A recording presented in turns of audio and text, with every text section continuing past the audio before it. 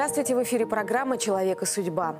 Мы расскажем вам историю о крутых жизненных поворотах, о людях, чьи поступки вдохновляют и дают силу другим. Нам, жителям городским, трудно понять тех, кто цивилизацию меняет на деревенскую жизнь. А вот наша первая героиня, Светлана Федорова, однажды решила, что самая большая ошибка – откладывать мечту на потом. И сделала то, что хотела, и то, что приносит ей удовольствие. Поселилась в деревне, завела живность и блог, в котором рассказывает теперь о своем простом счастье.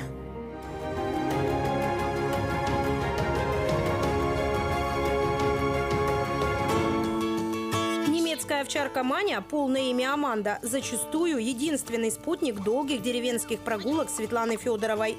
Вместе они идут по центральной улице маленького старого Заречья. Проверяют, как с уровнем воды в маленькой речушке. Поднимаются на Великанью гору. Маня – суперзвезда многих светиных фотографий. Она умеет позировать, с готовностью выполняет команды. Молодец, молодец, поигрульница.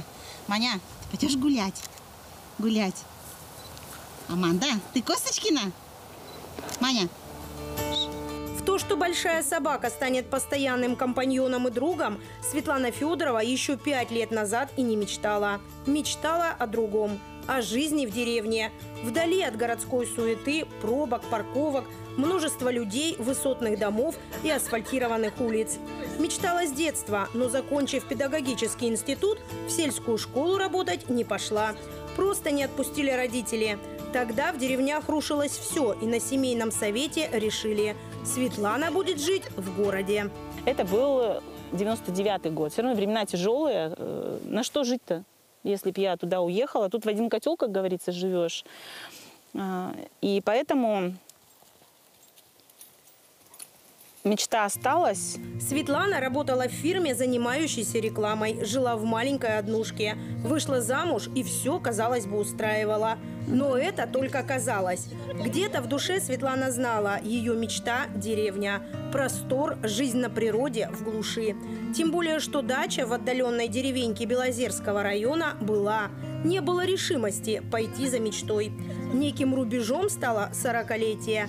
Светлана признается, едва ли не в одночасье изменилось отношение к мечте. Думая на работе, как бы она мне не нравилась, о том, что я вот сейчас могла бы в деревне видеть, э, как солнце садится, как снег падает, совершенно, да, э, находясь не за окошком, а прямо участницей событий быть, э, вызрело вот это вот такое жгучее желание что-то менять и начинать менять как можно быстрее, потому что, да, наверное, после 40, понимаешь, э, мало тебе активного времени остается. Ты можешь жить до 80 лет, да, но где-то с 70 до 80 ты уже, может, не будешь так таким прытким. Может, у меня будет артроз, и я не смогу вязать, да, так досыта. А и лучшие годы своей жизни я вот трачу на то, чтобы жить в городе, не следуя мечте.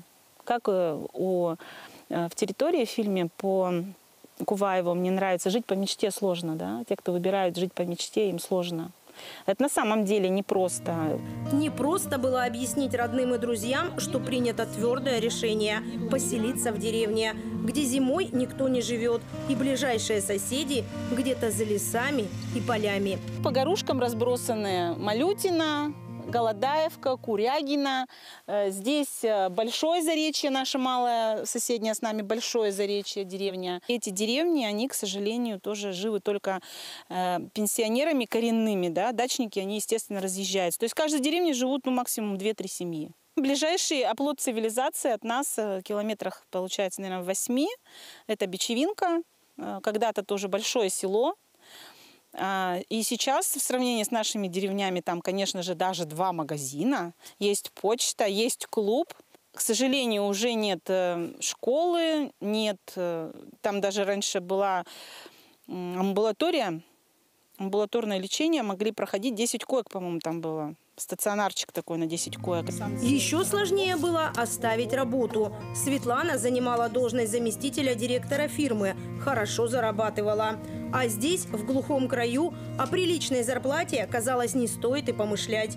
Но на помощь пришло увлечение вязанием и интернет.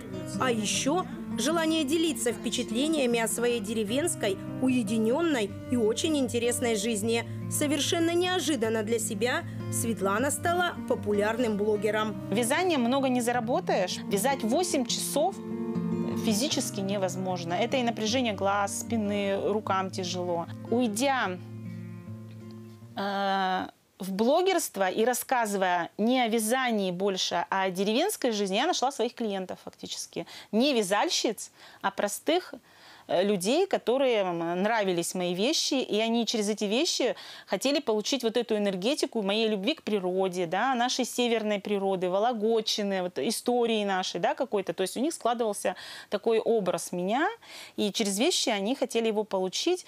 И я так скажу, э, несколько моих вещей а, живет в домах тех женщин, которые вяжут ничуть не хуже меня. Многие решения Светланы оставить город, привычный образ жизни и перебраться в глушь, мягко говоря, не поняли. Как когда-то не поняли, почему Светлана зарегистрировалась в социальных сетях под именем Дура Набитая.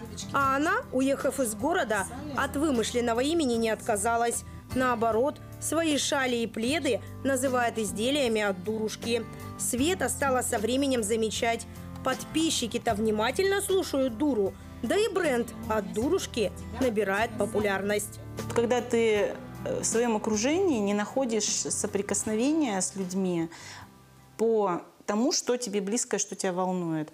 Ну и вот этот момент взросления он был. Я ушла, вот дура набитая. Это что-то такое вообще из Эм, Древней Руси, вот этот вот Петрушка, дура набитая, ярмарочные персонажи, которым, грубо говоря, было можно все.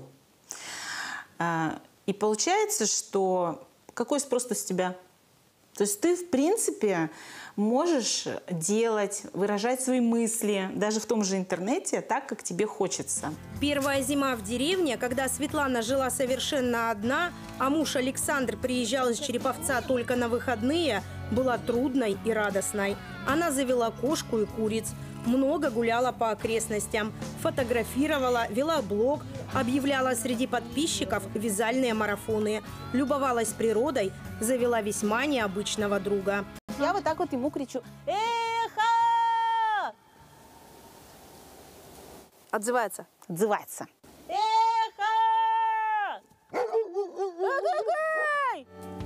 Оказалось, люди, которые живут в крупных городах, а именно они основные подписчики Светланы, мечтают о природе, о том, чтобы гулять по лесам и полям, чтобы радоваться чему-то простому, первому снегу, дождю, севшей на забор сороке, мелькнувшему в кустах лосю. Светлана рассказывает им обо всем этом в своем блоге.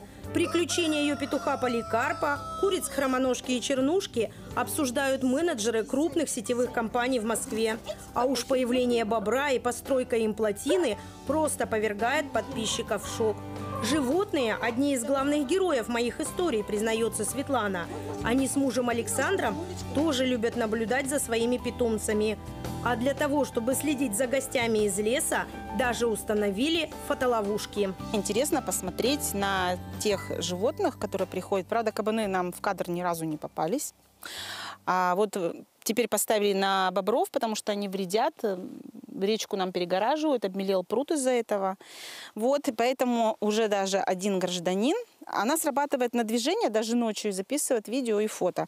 Вот могу вам показать один из кадров такого гостя. Он ползет, какое чучело. Чучело с хвостом.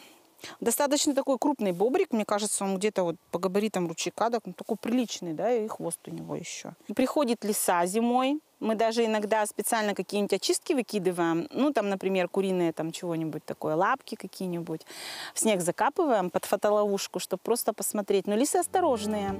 Иногда представителей дикой фауны удается поймать и на обычный фотоаппарат, но чаще на кадрах никуда не спешащие медведи, коты и овечки. Правда, после таких фотосессий они покидают дом Светланы и отправляются к новым хозяевам. Как же жить среди всегда улыбающихся котов и мишек совсем без общения? Нет, Общается Светлана с покупателями на рынке, где продает яйца, травы, самодельные консервы, сушеные грибы. Половина товара своя. А еще деревенский блогер берет на продажу товар у друзей фермеров. Этот Пашихонский, а вот это Костромской. Они разные. Давайте я вас стоит? Одинаково стоят, просто закваску разные. Козий сыр делают Андрей и Татьяна Лебедевы, фермеры из деревни Федурина, что в нескольких километрах от Малого Заречья. Светлана приехала к ним знакомиться и за молоком три года назад и нашла несколько десятков героев для своего блога и рассказов. С тех пор, признаются фермеры, отношение к петухам, курам, козам, гусям у них тоже поменялось. Ведь это уже не просто домашние животные, а герои литературных произведений. Ну да, узнаем много интересного. Писать она умеет, так скажем. Интересно это самое почитать. Интересно эти сказки, так скажем, да. Вот. Молодец. У меня люди даже спрашивают, Андрей, ты такие вещи пишешь интересные, что вообще вот тебе надо книги писать. Я говорю, знаете что? Я говорю, это, да, это не ко мне. Это у нас есть это самый автор, пишет такие интересные рассказы. Конечно, львиная доля общения и разговоров в сети. Светлана отвечает на комментарии, делает заказы, рассказывает о своих работах – она объединила рукодельниц из разных городов страны, создала несколько интернет-сообществ. Те, кто хотел почитать Светины рассказы о деревне, увлеклись вязанием. Те, кто вязал, начали читать. Интересные новые вещи, какие-то интересные задумки. Эм, объединяет она людей, которые занимаются этим. Люди все в восторге от ее творчества, потому что большинство-то, ну так, для себя вяжут. А когда она какую-нибудь идею бросит, народ собирается в кучку и делает. Сейчас Светлана вновь готовится к зиме, но в этом году она останется в деревне не одна. Муж Александр, увидев, что зимовать не скучно и возможно, решил, что он тоже может себе позволить жить в деревне.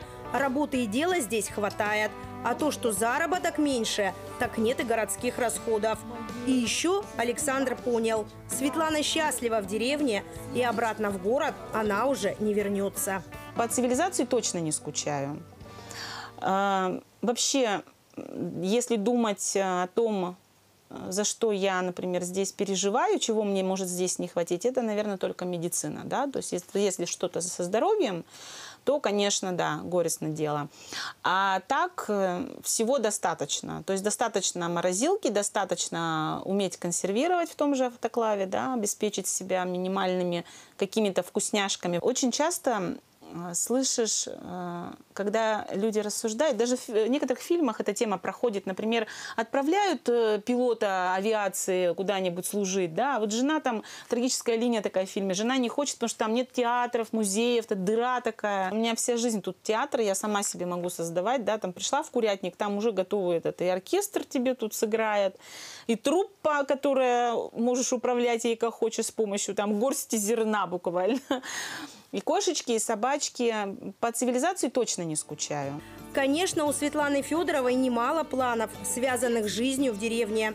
Оформить во дворе красивую клумбу, углубить пруд, построить мосточки, выпустить книгу деревенских рассказов с фотографиями. Конечно, кому-то эти задумки покажутся незначительными, ведь это не возвращение жизни в деревне или строительство лесозавода. Но и эти маленькие шаги в жизни одного человека, решившего жить по мечте, важны и интересны многим. Только когда любимый умирает у тебя на руках, понимаешь, как мало значат все эти медали, кубки и победы. Это слова фигуристки Екатерины Гордеевой. В 24 года она осталась вдовой. Ее любимый муж, партнер на льду Сергей Гриньков, внезапно скончался во время тренировки. Его смерть стала потрясением для всего мира. Пара Гордеева-Гриньков была одной из самых красивых и талантливых. Двукратные олимпийские чемпионы, четырехкратные чемпионы мира, трехкратные чемпионы Европы, чемпионы СССР и России. Оба начинали как одиночники. Сергей пришел в спорт в пять лет, но тренеры не видели перспектив. Его прыжки были недостаточно сильными для одиночного катания и посоветовали встать в пару. Интересно, что Катя уже много лет занималась на том же катке. Они учились в одной школе и жили по соседству. Но Сережа был на 4 года старше и внимания на миниатюрную одноклубницу не обращал. Их представили друг другу, когда Гордеевой было всего 11 лет, а Гринькову 15 15. И уже через 4 года они дебютировали на взрослом уровне и в первом же сезоне совершили невероятное. На первенстве мира обыграли действующих олимпийских чемпионов, а Екатерина Гордеева стала самой юной чемпионкой мира в истории.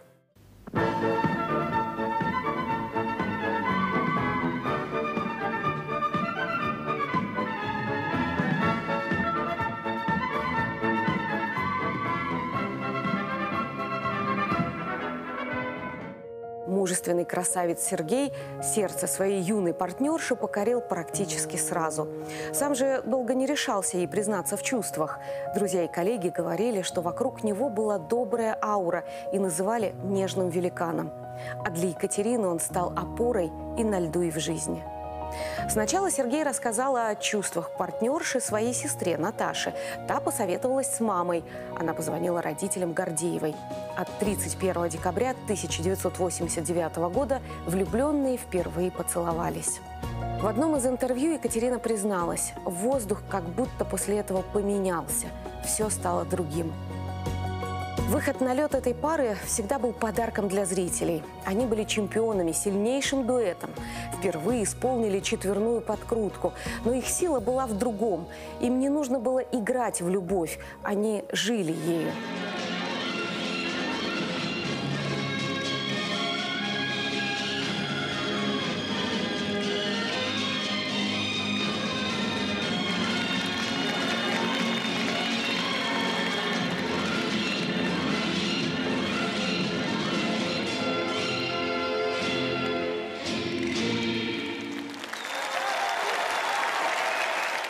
Спортсменов не обходится без травм. Были они у Сергея Гринькова. Врачи отмечали проблемы с суставами, а за некоторое время до смерти фигурист начал страдать от прогрессирующих болей в спине. Уже позже медики скажут, что так давали о себе знать проблемы с сердечно-сосудистой системой.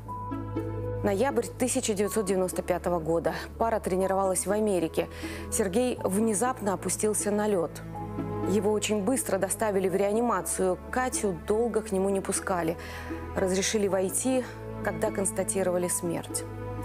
Он лежал, будто спал. Она расшнуровала и сняла с него коньки. Сергей и умер как великий артист на сцене, сказал Андрей Букин, олимпийский чемпион 1988 года в танцах на льду. Через несколько месяцев после смерти Сергея Гринькова Екатерина Гордеева впервые вышла на лед. Одна. На этом настояла подруга и тренер Марина Зуева. Ты почувствуешь, что Сергей тебе поможет откатать эту программу. Позже Екатерина призналась, когда я начала кататься, я почувствовала двойную силу, двойную энергию. Правда, как будто кто-то мне помогал.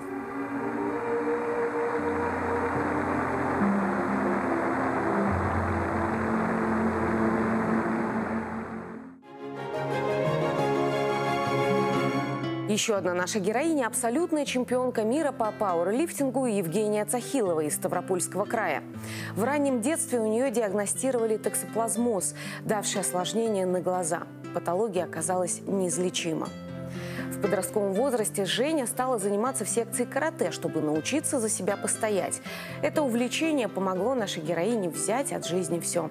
Евгения Цахилова своим упорством доказывает, что человек с ограничениями по здоровью безграничен в своих возможностях.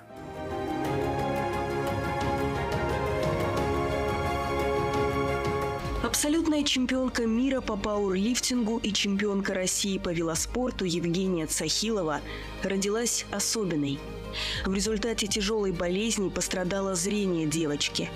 И сегодня один глаз у нее не видит совсем, а второй воспринимает меньше 1% от общей картинки. Оценивая путь, который Женя прошла, то, что она так э, по жизни себя ведет как боец, я иногда думаю, а если бы у меня были такие же проблемы, как у нее, я бы смог так же себя вести? И должен себе признаться, что, наверное, нет. У меня нет центровки зрения, потому что у меня сетчатка прожжена в центре. Я вижу боковым зрением. Если обратить внимание, как я смотрю обычно и присматриваюсь куда-то, то я всегда поворачиваю голову в левую сторону. Мне многие задают вопрос, а хотела бы ты, чтобы у тебя вот стопроцентное зрение было. Я говорю, а как я могу хотеть, если я не знаю, что это? Будущая чемпионка Женя Цахилова родилась в Ставрополе в самой обычной семье. В нашей семье никогда не произносила слово «инвалид». У мамы была коронная фраза «Что будет с тобой, когда меня не станет?» Ну, я тебя воспитываю именно так, с понятием того, что рано или поздно меня не будет. Поэтому как бы я и в пять лет ломала руку, нос, что я только не делала, я как бы, но суть была в том, что я должна была встать и идти дальше. Меня воспитывала больше мама, причем довольно-таки жестко. Если так посмотреть на всю мою жизнь, меня воспитывали жестко. Я всегда до последнего момента на, него была, на нее была в обиде, что вот ты меня не любишь. А это была именно позиция того, что вот ты должна сама идти и делать. И только, наверное, лет так уже гораздо старше, я поняла, что она была абсолютно права. Женя была пухленькой и потому постоянно становилась мишенью для насмешек одноклассников. Именно тогда в жизни маленькой Жени и появилась карате. Тренировки не позволили ей опустить руки и научили давать отпор обидчикам. Активно я начала драться, я дралась с пацанами, я отстаивала свою позицию, я за пределами школы дралась. И как бы я поняла, что эта позиция и это отстаивание мне дает плюс тем, что все одноклассники повернулись наоборот в мою сторону. Это было, у меня было два основных э, клички в школе – Рэмбо и Терминатор. После карате Женя окончательно выбрала путь спорта. Ее привел отец, ну, с таким диагнозом, в принципе, никуда не берут, кругом отказали, говорят, хоть вы возьмете. Ну, я посмотрел, ничего страшного, в принципе, нет, операция удачно прошла. Ну, ее взяли, и, в принципе, оказался хороший ребенок. Уже после школы Евгения увлеклась пауэрлифтингом и Женя однажды пришла домой, и вот этот разговор с мамой о том, что команда Ставропольская по пауэрлифтингу едет в Сочи, и вот как бы есть возможность поехать ей вместе с ними, просто посмотреть. Женя возвращается с двумя медалями и одним кубком. Это было крайне неожиданно, потому что сестру там так просто рядом постоять отпускали, а вернулась чемпионка. Позднее Женю пригласили в сборную страны, а дальше больше. Грандиозные победы на чемпионатах мира. Однако после многократных травм с пауэрлифтингом пришлось попрощаться. Сегодня Евгения Цахилова профессионально занимается велоспортом, который ей всегда нравился.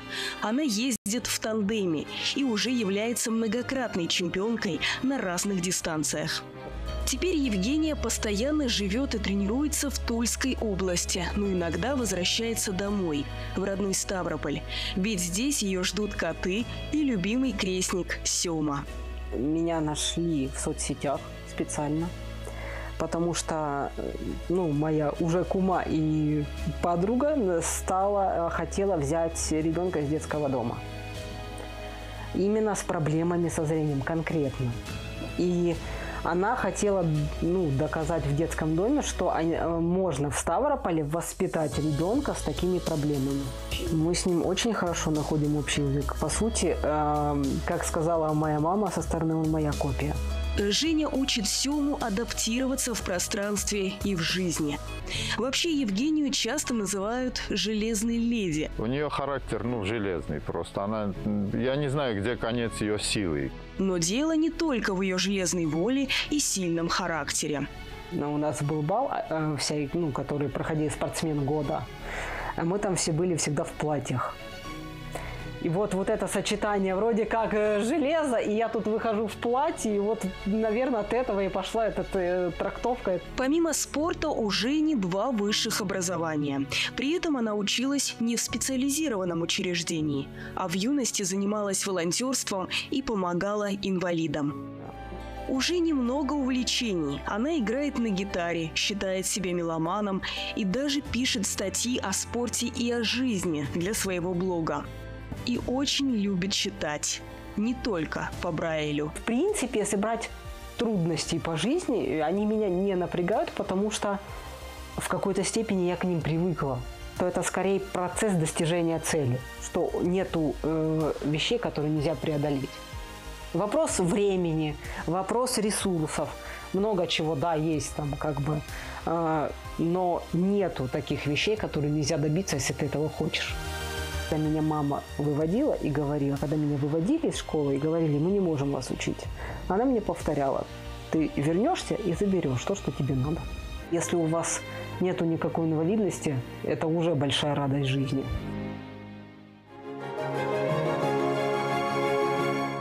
На этом все. В новом выпуске будут новые истории, а в завершении великие мысли великих людей. Высшим отличием человека является упорство в преодолении самых жестоких препятствий. Людвиг ван Бетховен.